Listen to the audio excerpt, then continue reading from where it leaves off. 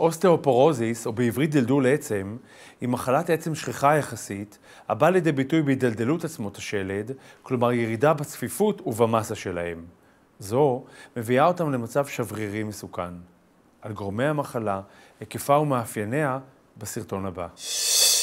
שלום, היום אנחנו מדברים על מחלת האוסטיופורוזיס. אוסטיופורוזיס זה הדלדול של העצם, ירידה בצפיפות העצם, לא רק באחוז של הסידן, אלא גם באיכות של העצם.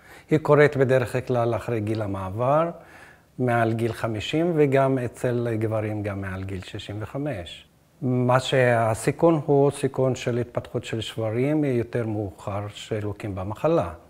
הגורמים של המחלה זה, כמו שאמרנו, את הגיל, את המין יותר נשים מאשר גברים, את האורח חיים, אם אנחנו לא שומרים על תזונה נכונה עשירה בסידן ומספיק ויטמין D וחוסר פעילות פיזית, וגם אנחנו יודעים שיש רקע תורשתי בדרך כלל לאחוז מסוים של האנשים שעלוקים במחלה, ובנוסף לזה גם יש איזה מחלות אנדיקרוניות ואחרות אה, שגורמות אה, להתפתחות של המחלה, וגם שימוש בתרופות מסוימות לטיפול במחלות אחרות, זה יכול לגרום לדלדול של העצם.